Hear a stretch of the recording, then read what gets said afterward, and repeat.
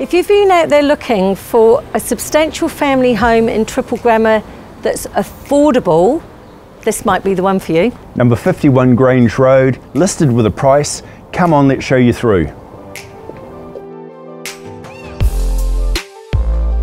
This is such a spacious family home, ideal for those bigger families. On this level we've got three really good sized double bedrooms.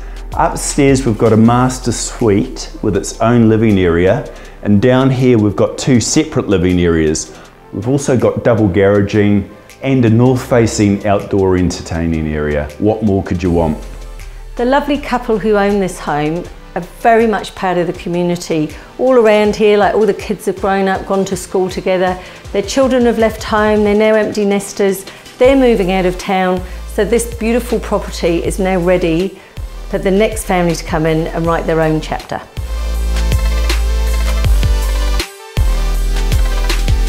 It's such a great spot here, short stroll to Mount Eden Village and as I've mentioned the community around here is really really special. You're zoned for Balmoral Primary and Intermediate, you're zoned for Mount Eden Normal, you're zoned for Epsom Girls Grammar, Auckland Grammar and Mount Albert Grammar. Schooling's sorted here. We're listed at $2,075,000 and viewing is by appointment, so give us a call.